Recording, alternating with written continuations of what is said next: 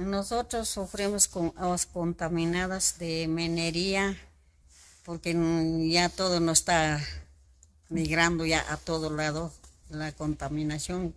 Ya no tenemos forrajes, ya no tenemos agua sano.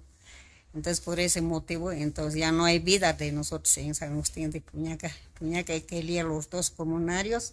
Los dos comunarios están totalmente afectados ya no se puede tomar ni agua. Hasta el rincón del cerro ya está todo contaminado ya. Así que a veces eh, nosotros vivimos en el campo, pero nos llevamos del pueblo de Popó, llevamos al campo agua, porque ya no es vida la agua en el campo.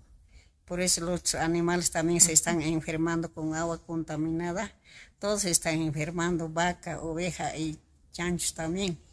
Y, y mucha afectación tenemos de contaminación y por ese motivo nosotros estamos reclamando ahora nuestros derechos, porque no, no se escuchan, no hacen su dique de cola, ¿no ve? Todo están viendo de Machacamarca el puente está entrando la agua sucia y todos cuántos años que está entrando ese agua. Eso no está, nos afecta a todo, toda la minería, pero hace tiempo hemos reclamado, nadie, autoridad no les escucha. Eso nosotros tenemos reclamo. Entonces, ¿qué va a pasar con nosotros de aquí atrás, con nuestros hijos, con nuestros nietos? ¿Dónde van a estar? Entonces, por ese motivo, nuestros derechos reclamamos ahora. A ver, que nos escuchen las autoridades, que pongan al mano al pecho. A ver, dicen el presidente, vivir bien con agua sana, ¿no ve? Pero de nosotros, ¿qué nos escucha?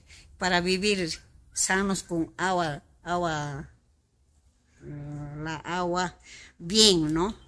Pero nosotros agua contaminada estamos tomando y nuestro animal también está tomando toda agua contaminada.